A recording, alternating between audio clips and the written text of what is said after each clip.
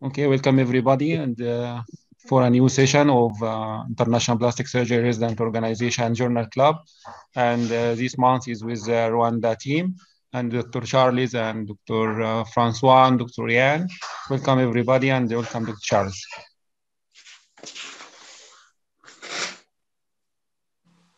Can you see my screen? Yes. Yes, we can. Thank you so much for giving us the opportunity to join IPSRG and take part to this monthly journal club. It is a honor for us to talk on this platform. I also take the opportunity to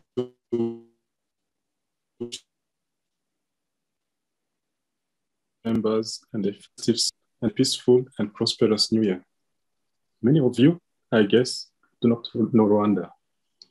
Rwanda is a small country of 26,000 and a bit square kilometers in the heart of Africa, between Uganda in the north, Democratic Republic of Congo in the west, Burundi in the south, and Tanzania in the east.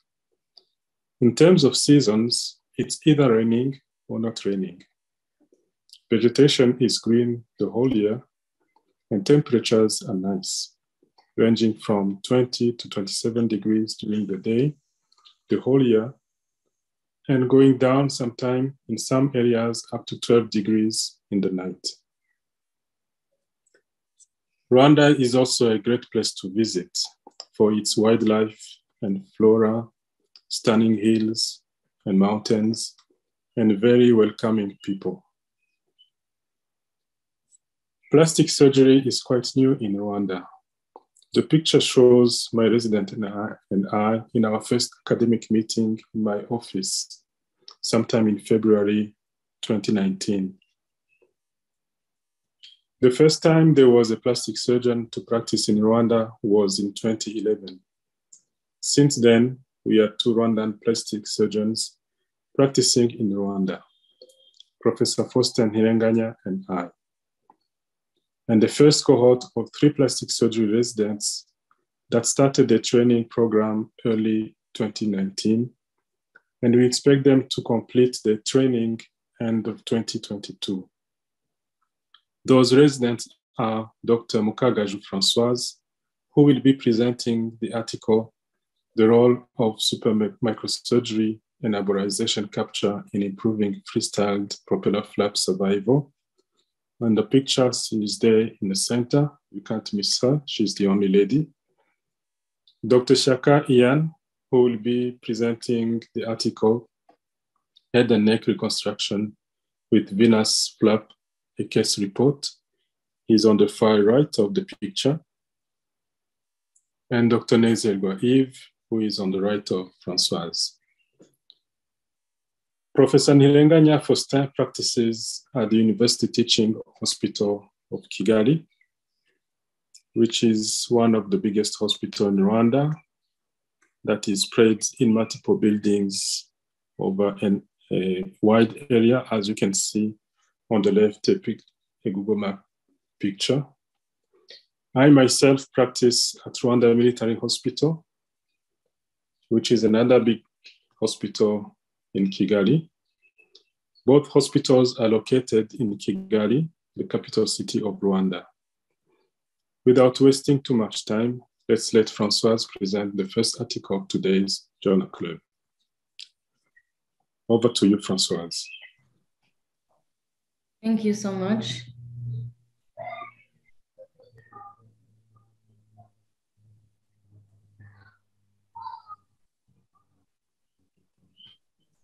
Thank you. It's a privilege for me to present uh, in this group.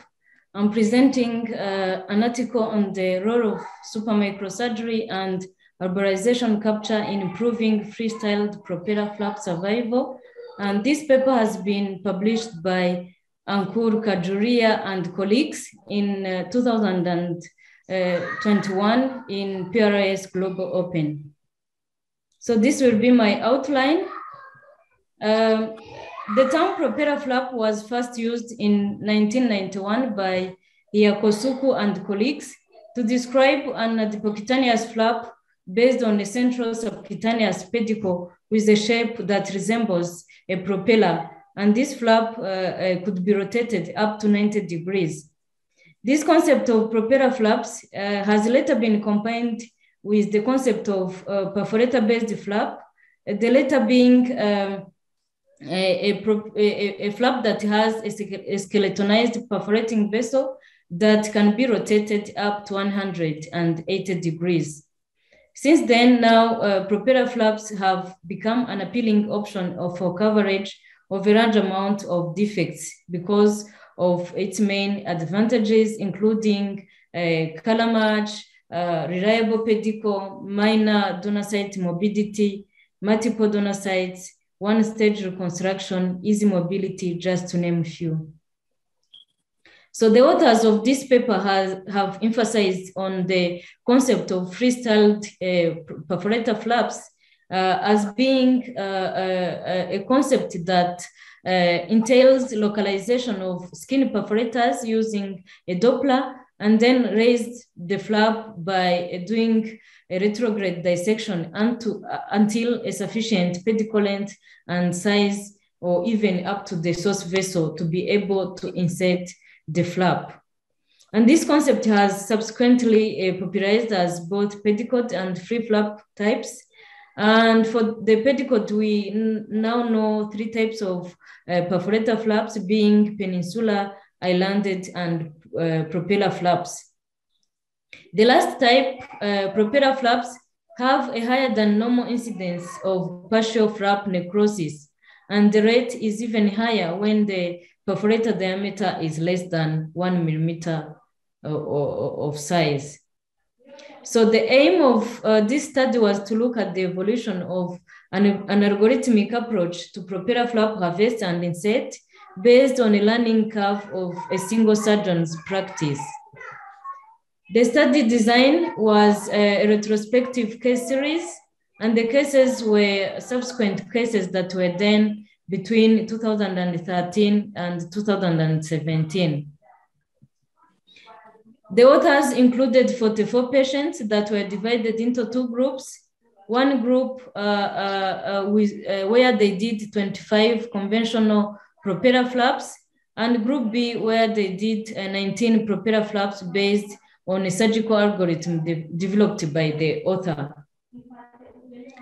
So when you go to the surgical technique, when performing uh, propeller flaps, the authors uh, have emphasized again on the importance of dissecting the vascular pedicle as far as down to the source vessel to prevent a, a congestion by kinking of the, uh, of the pedicle or even a torsion of the pedicle. But this has limitations, especially when the perforators are less than two millimeter diameter or when perforator, uh, perforators um, arborize in a deeper plane than the conventional uh, suprafascial plane. So the authors also in the paper uh, explained the types of uh, perforator arborization. Uh, uh, the conventional type that we all know, the suprafascial uh, plane, but also the uh, the arborization in the, the fat or even the intramuscular. And they emphasize on the role of uh, taking a, a, bit of cuff of muscle or adjacent tissues uh, to the pedicle to be able to capture most of uh, the, the veins and uh, this to prevent uh, for venous congestion as one of the cause of flap failure. So this is the algorithm that the authors developed. Uh, they explained how uh, for uh, for all perforator uh, perforators that had more than two millimeters of diameter, they would do a conventional technique, and that's where they did the 25 flaps. And for the uh, perforators with one to two millimeter of diameter, they did arborization, and if there was any sign of congestion, they would add on a, a venous supercharging. And for perforators of less than one millimeter, they did arborization capture uh, and also venous supercharging. So once the flap has been uh, harvested and inset, they would take uh, up to 15 minutes before confirming that the, the flap is fine. And if there was any sign of congestion, they were uh, we all know that normally for perforator flaps, if there is any congestion on table, you can either do uh, pivot the flap in the opposite direction if the, the, the pivot was done up to 180 degrees, then you can pivot in the opposite direction or replace back the uh, flap into uh, uh, donor site and delay it for two to three weeks, or even perform a venous charging of a distal vein within the flap to an adjacent subcutaneous vein. So in this study, the third option was uh, selected in two situations when the perforator uh, diameter was less than one millimeter or even for any flap that would have a venous congestion on the, on the table. But uh, they also reminded us uh, that in this case, the veins are most of the time less than one millimeter of diameter, and, and hence a super microsurgical skill set is required. So their outcome the, was to check whether the technical modification uh, to mean arborization capture and venous supercharging made a significant difference in terms of uh, overall flap survival. And the data were analyzed using a two-way ANOVA. So the results, um, the, as we said, they did 44 flaps. Uh, group A, 25 flaps, conventional uh, uh, perforator propeller flaps, and 19 flaps where they did either arborization or arborization plus venous supercharging. The mean age was 60 years in group A versus 50 years in group B. Uh, the patients had no much uh, comorbidities, just few in three patients in group A uh, versus two patients in group B. The mean perforator diameter was 1.2 in group A versus 1.1 uh, millimeter in group B. The mean defect size was uh, 164 square centimeters in group A, whereas it was uh, 241 square centimeters in group B. The mean angle of rotation was 118 degrees in group A, and in group B, the rotation was 154. So the overall survival rate in group A conventional flaps was 64%, Whereas in Group B, they had a, a, a good uh, survival rate up to 94%. Uh, Only one flap in, in the group of arborization capture had a partial uh, necrosis, whereas in venous supercharging, all the seven flaps had a complete uh, total survival rate.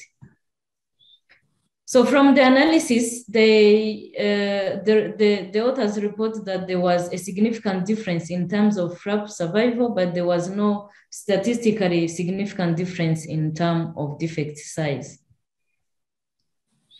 So um, in the discussion, the authors um, again explained about the flap survival that it depends on the pressure gradient between the blood inflow and outflow but also the intrinsic vascular resistance of the flap.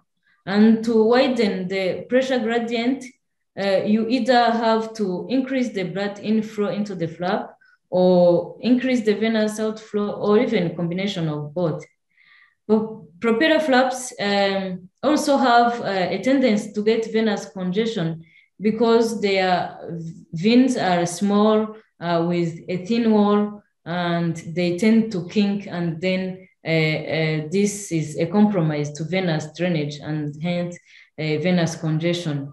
So to overcome this, one has to select the largest possible perforator within the flap or even augment vascular inflow and outflow by taking a, a cuff of tissue, that's the arborization that the authors describe, or even to have a, a draining port for the outflow. That's the venous uh, supercharging.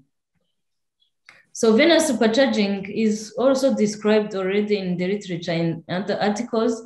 And this is just one example where uh, Vijayan and colleagues uh, um, uh, did a study for comparing a supermicrosurgery assisted venous supercharging of uh, angular artery flap for nasal reconstruction. And um, from their results, they, they, they found that uh, when uh, venous supercharging was done, the venous condition was only 66% versus 11% in the conventional uh, Propeller perforator flaps. And they, are, they have also been published other, um, other papers, uh, case reports, where they emphasize on the role of uh, venous supercharging.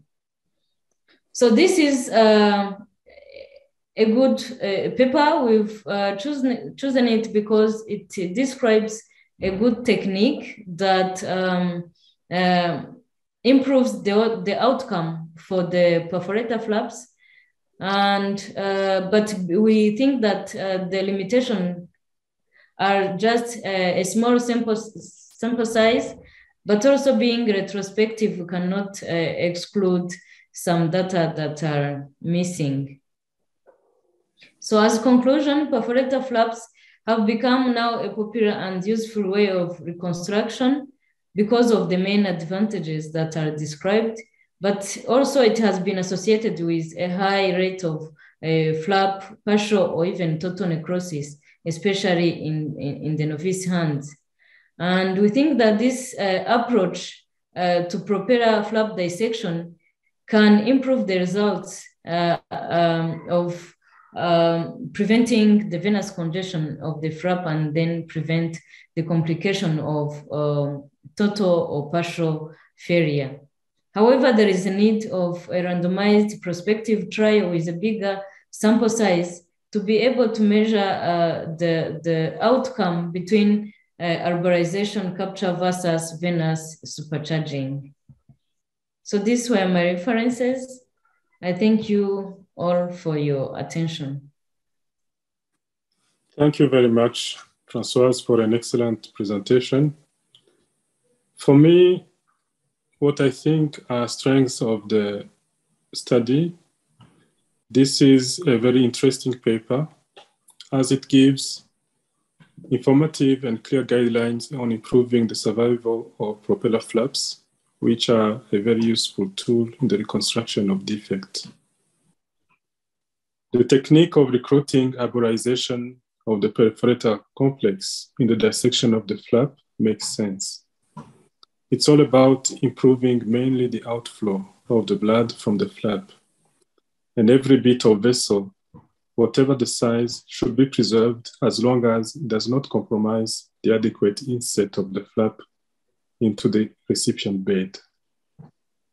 It also reminds us that we should preserve every vein we meet during raising the flap as a potential candidate for supercharging. The few limitations, since case studies, since case studied are not that many, only 44.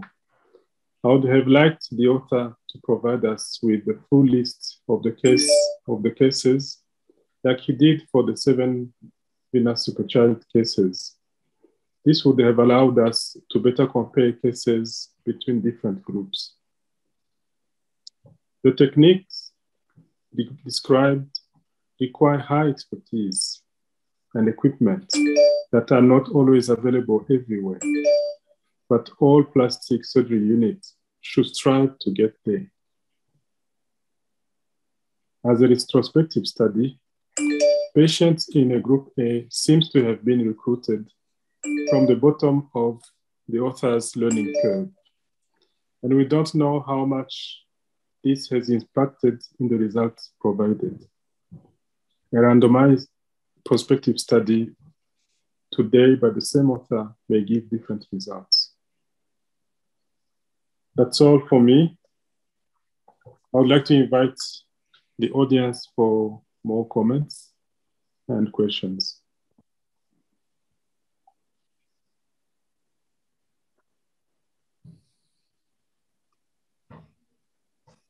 Many, many of you are muted.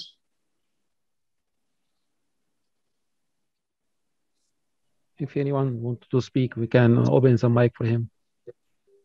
Okay, Dr. Zia advising that we can wait for the next presentation and then we comment on all together. All right.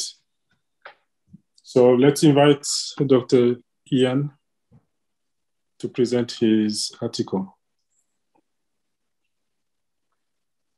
Ian, over to you.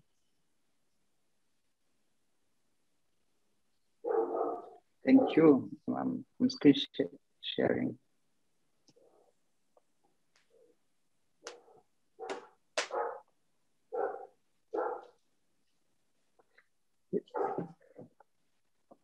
Uh, good evening, all. My name is Ian. I'm, I'm a resident in plastic surgery, and Dr. Charles is, is my supervisor. And I'm going to, to, to present a case report of head and neck reconstruction with a venous flap. A brief introduction, head, head and neck is the commonest site for skin cancers, mainly the basal cell carcinoma and squamous cell carcinoma. And this is mainly due to the high risk associated with with, uh, with light exposure and ultraviolet radiation. And these, these cancers, after excision, they pose a challenge both, both aesthetically and as, and as well as functional. Uh, reconstruction with local flaps in the face is, is quite limited. It's limited because, especially when the defects involve the 3D, the three-dimensional facial structures, such as the nose, the eyes, the, the, the lips, and, uh, and this has led to most surgeons being conservative and not doing a, a radical oncological excisions in, in the face. And hence the, the, the high rate of incomplete excision reported in the face area, which is 5.8 to 15.9% of incomplete excisions in the face and for non-melanoma facial skin cancers.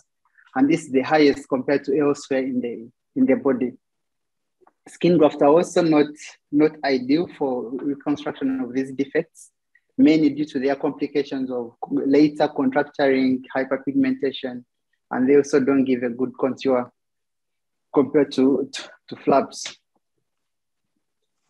So reconstruction of, of facial or facial of head and neck defects, especially the face, would depend on, on certain factors such as the size of the defect, the relation of that defect to the aesthetic units of the face, availability of, of the local soft tissues, as well as the expertise available in the facility.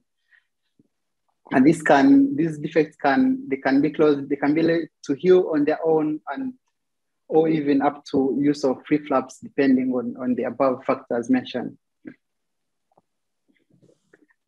So venous flaps, these are non-physiological flaps where, where the venous system replaces the vesicular circuit that is found in conventional flaps. So the venous system serves both as, as the inflow as well as the outflow vessels.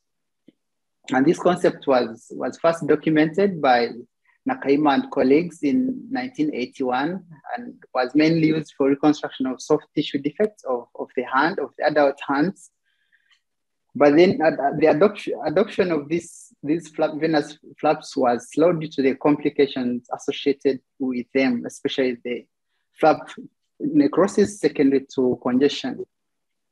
In 2001, uh, Dr. Wu and colleagues demonstrated the use of pre-expanded arterialized venous free flaps for, for reconstruction of, of cervicofacial defects after excision of post-burn contractures and it demonstrated the use of these venous flaps in three cases that was successful. And in 2011, uh, Park, Park and colleagues demonstrated a case series of eight cases where he, he was able to reconstruct facial defects after cancer excisions in, in, in eight patients. But these were small defects and the largest being 20 square centimeter. And in the eight cases, six were successful. One, one was, was total flap necrosis, and the other was partial flap necrosis. So our case report, it's a case of 70 square centimeter arterialized venous free flap to reconstruct a complex forehead defect. after basal carcinoma reconstruction. And this is the largest venous-free flap, non, non-expanded, to be used on the face that has been reported. It is also the first report of the successful use of uh, in arterialized venous flap.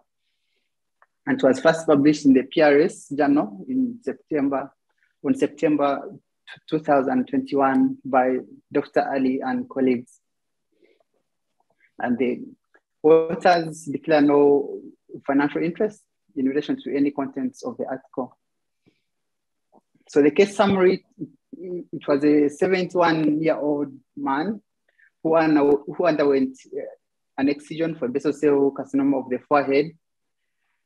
He underwent three successive excisions due to positive margins, but after the third excision, the margins were negative, and reconstruction with and reconstruction with, with an arterialized venous flap from, from the left non-dominant hand was planned. There was no image provided for, for display here after the excision, but we'll see during the flap inset.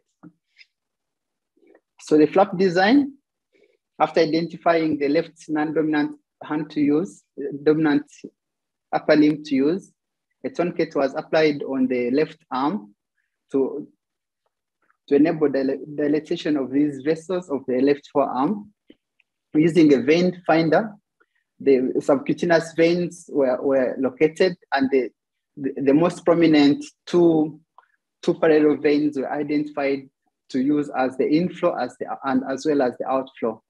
And the vein on the, on the on the radial aspect was, was to be used as, as, as the inflow in retrograde, as well as the one on the ulnar side was to be used as outflow in antegrade. So after, after identifying the two veins that will be the center of the flap and mapping of this of the skin of the skin part that will be taken with the flap, a superficial dissection was done and the flap was raised on the two veins that were identified with preservation of the proximal portions of those veins, especially it's about three centimeter from the proximal end of the of the flap. And any any any, any interconnecting veins between the two in the inflow and the outflow were identified and ligated to avoid any shunting. So after raising the flap,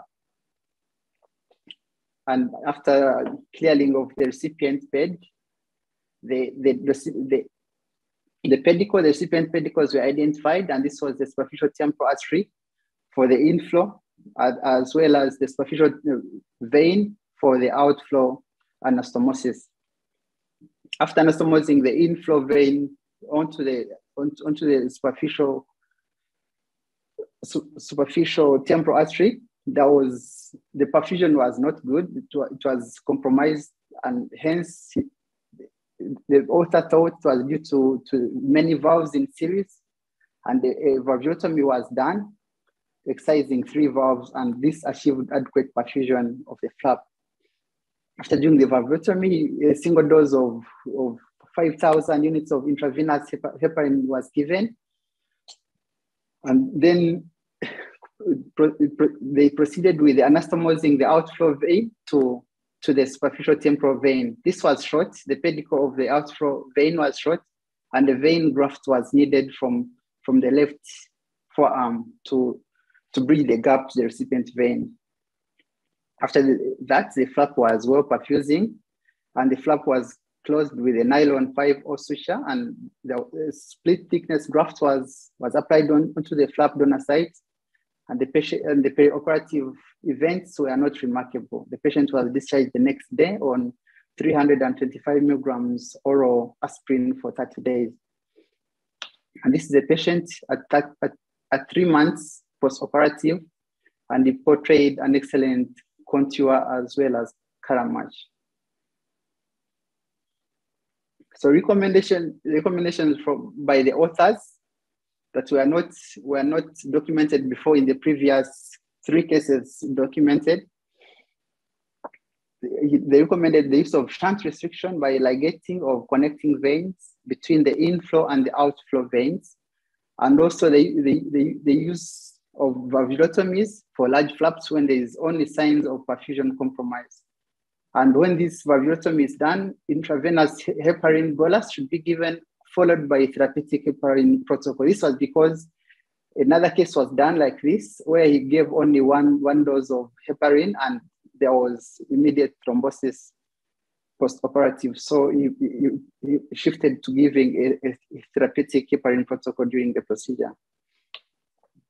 So advantages of this of these venous flaps, they're easy to they're easy and quick to harvest, and there's there's donor, donor site morbidity is incredibly low because this is the suprafascial dissection. There is no there is no extension to the intermuscular septum to identify arterial perforator, uh, arterial pedicles. Uh, and the flaps are thin and, and hair free, especially when they are harvested from the volar aspect of the, of the forearm. And this gives a good, a good contouring and color match when it comes to facial reconstruction. But then on the downside, especially in the early phases of these flaps, they tend to show early, early, early phase discoloration and bruising despite otherwise being perfused. And this is a physiological bruising due to the high pressure faced by these veins that was they were not acclimatized to. And then these flaps take up to five, up to 10 minutes to reperfuse well, even after adequate anastomosis. So they need to be rewarmed and one has to wait for about 10 minutes to see if they are, if they are perfusing adequately. And some veins can be small and short, like we saw in the previous, they had to do a vein graft it can be small and short for a microanastomosis at, at the recipient site. So the conclusion from, from the case report was that venous flaps are, being, are underutilized, are an underutilized technique in microsurgical reconstruction, especially when it comes to head and neck. And recent developments in venous flap designs, by these, they talk about, they're, they're talking about the shunt restrictions and the valvulotomies they've advanced their dependability compar comparable to the conventional free flap counterparts. But this is without to say that these are only three cases that have been reported and it's not sufficient evidence to, to compare with the, with the conventional flaps. And those are my articles references. Uh, thank you so much.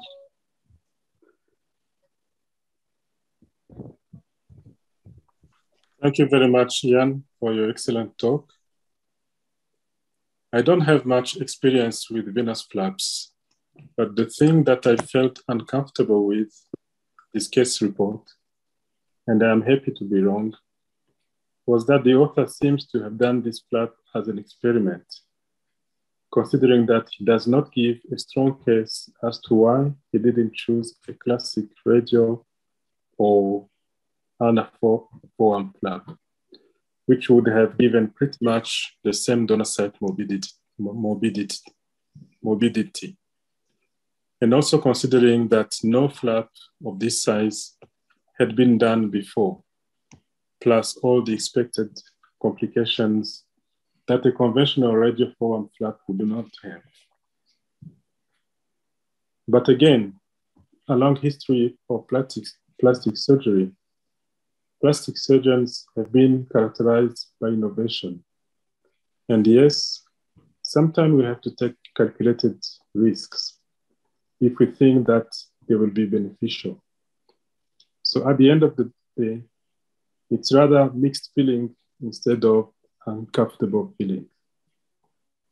On this note, I would like to invite the audience to give us comments on both articles and interact with us.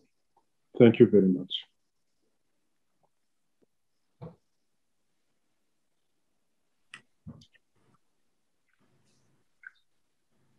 Thank you very much. This is Dr. Ziaul Islam. Uh, thank you very much for the presentations. Uh, both the presentations were in depth about the article that was published.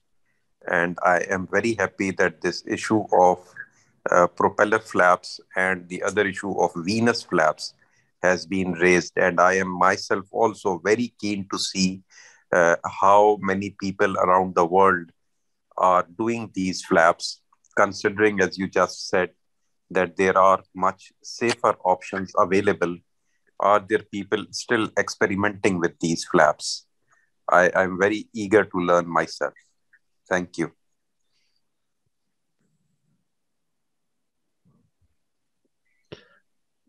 Thank you, Dr. Charles and Dr. Ian and Dr. Uh, Francois. Um, I'll give my impression. Actually, I think the uh, authors of the both uh, articles they were very challenging themselves actually for the selection of the flap, for the technique, for the even for the selection of the patient. Uh, for the first uh, article about the uh, micro super microsurgery I think the author he was challenging himself wanted to do um, super so yani the the aim of the uh, propeller flap from my point of view was the advantage that you avoid any anastomosis. You are making it a, a flap, perforator flap, and avoiding the uh, microsurgical anastomosis. So after that, uh, author he is pushing himself back again to do a super microsurgery on a vein um, and actually, I don't know what is the size of the vein. If the perforator and the uh, accompanying veins are very small, so how much will be very smaller the uh, draining veins that he will select to supercharging the flap. So I think the author he was challenging himself. Of course, innovation in plastic surgery uh, is uh, required, especially sometimes you, this is the only option you have. But in the presence of other options, as Dr. Zia said and Dr. Charles, I think it's uh, it's very challenging. Um, for the other uh, paper, for the other article about um, uh, venous flap, free venous flap, also I think the author was very very challenging himself actually, because the selection of the patient is old age and he have comorbidities and how long does the surgery will take in presence of other options, more simpler options actually, and uh, to add more more steps that uh, uh, endangering the flap like uh, valvotomies and uh, so on. In addition, I think it's very challenging. And as you all said, in presence of other simpler techniques, I think it's it's difficult to choose such technique. But however, as you said, uh, innovation of plastic surgery is required, especially if you don't have any other. Yes, I think it's as a salvage boat uh, whenever you have, don't have uh, other option. Thank you. Hi, how are you? I'm Dr. Ahad. Good. Hi. It's an honor to, uh, I would like to, first of all, sorry, uh, I have something uh, urgent, that's, why I go outside. But I, um, I attend all the, the journal club. First of all, I would like to uh, thanks a lot for their uh, Francois and uh, his boss, Dr. Charles and Dr. Ayan, um, for this nice international journal club event today. And I really happy to be with us. Also, Professor Zia and Professor Salah make comment about the, the content. For me, I'm happy for all by you. And thanks for all audience also. Thanks. Thanks, Hello, Ala. Ala. It's always good to see you. Yes. Uh, my main problem with the propeller flap is uh, that there is a high likelihood of it failing. And when it fails, the resultant defect is two to three times bigger than the actual defect that was there to start with.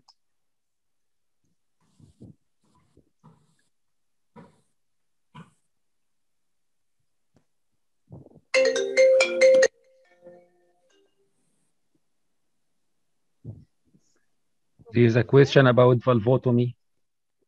Yeah. Yes. Maybe asking how, how is valvotomy is done.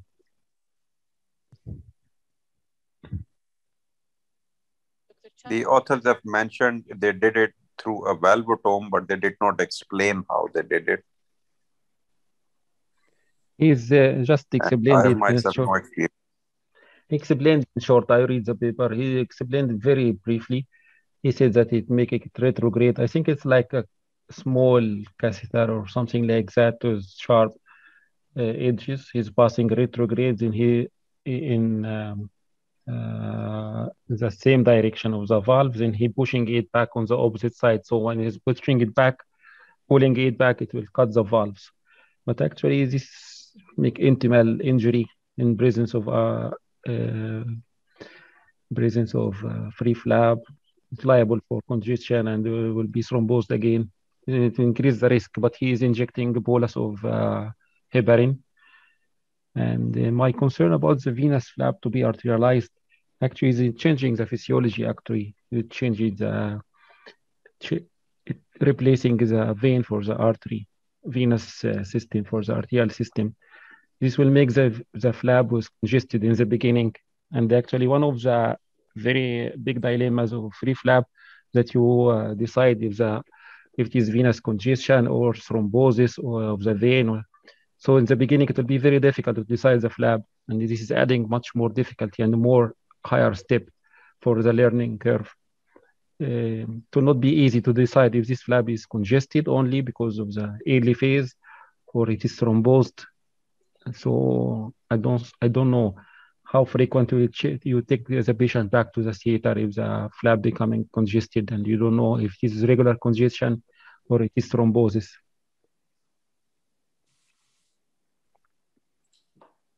Yes, let's let me start with the valvulotomy. I I've never seen it, I've never done it, but uh, I did some search about it to understand the the concept. You need to think about it as a thrombectomy, where you push your your your device with the balloon pass through the the, the, the thrombus and inflate the balloon and pull the device to bring the thrombus with it. So instead of the balloon, the thrombectomy has a part that is sharp on the back. And when you are pulling it back, it cuts through the valves. And that is the principle. And by cutting through the valves, I would also guess that it doesn't cut only the valves, but it will- also injure, injure the intima.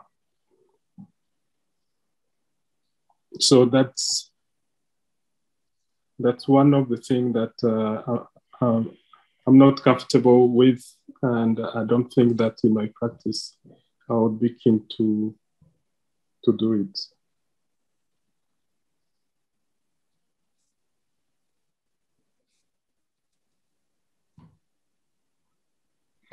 Any other questions from the audience?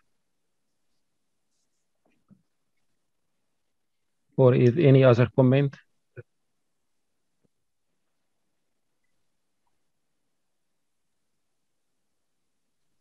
Okay, I would like to thank uh, Dr. Charles, Dr. uh, Francois, and Dr. Ian for this uh, nice presentation and uh, meeting. And uh, as Dr. Charles said, Rwanda is in the heart of uh, Africa, and uh, now it's in the heart of uh, International Plastic Surgery Resident Organization by accepting the, our invitation to present this uh, meeting today. And uh, would like to see you in the future for other meeting, inshallah, and other activity. Thank you, everybody. Thank you, Dr. Hala. Thank you, Dr. Zia. and thank you all the audience. And see you next uh, month, inshallah. Thank you for all. Thank you. Happy. Thank- It's not. It will be not the first first time you will be with us next activity, Dr. Charles. You have, sure. you have a great. Yes, you have a great We uh, lady, Francois. We are, is with we are here to stay. We are Huh? here to stay. We are here to stay. Yes, Sure. she's nice. Sure, sure. Okay. okay. So see you in January. Thank you Yes, very much. you. Happy New Year, everyone. Happy, Happy New Year. Happy New Year, Zia. And all of you, Professor Salah, all of you. And Merry Christmas for the other people. And inshallah, Sana Saida. New Year's full of uh, successful money, love. What else? house, gold. what you need, we will add it. a lot of cases, also a lot of cases for uh, Ian and Francois. Definitely. Yes. We didn't uh, see uh, uh, Ian. He didn't see anything. Bye or something. Bye. Thank He you. Thank yes, he's you. very shy. Okay. Bye. Okay, bye. Okay, bye. bye. bye.